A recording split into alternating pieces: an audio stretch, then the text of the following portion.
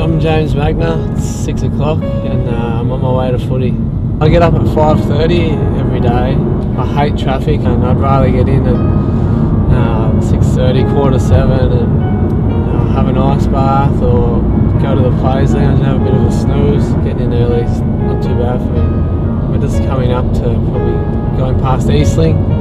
I worked on that for two and a half years, from start till finish, pretty much. So friendly reminder every morning to work my butt off to stay uh, in the footy world, or else I'll be back there. To get drafted, it just was hard work. I've been working really hard since since I was 16, 17 and I always sort of prided myself on working the hardest at any club I was at as far as uh, fitness and, and, doing extra stuff and I reckon that's sort of that's helped me.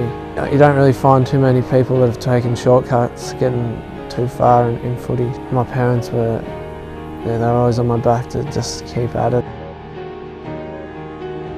Yeah, well the first NAB Cup we played Brisbane and Gold Coast and I think first bounce I lined up on Simon Black and in the second game I played on Gary Ablett, so I followed him ever since I was a little kid and yeah it just felt, it didn't feel real.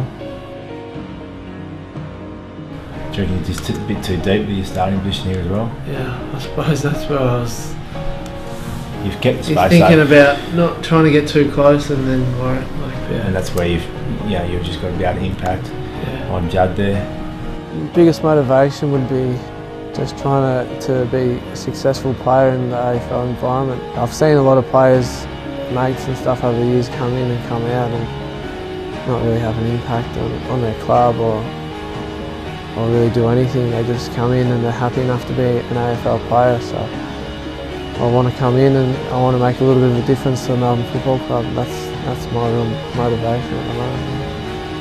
I love playing AFL. It's a dream job. It's better than digging holes or sitting in an excavator, definitely. So anyone that tells anyone otherwise is kidding themselves.